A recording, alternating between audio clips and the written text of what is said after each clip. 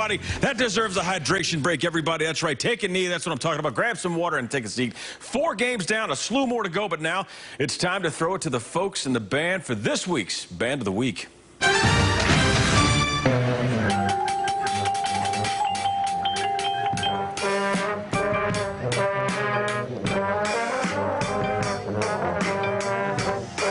Yes, you're listening to the refined sound of the Fuquay Varina High School Marching Band. Seriously, what's a Friday night without a high school band? It's not a real Friday night. I want to thank you all out there, hardworking band members, for keeping us entertained and keeping the crowd moving every single weekend. Thank you. We salute you.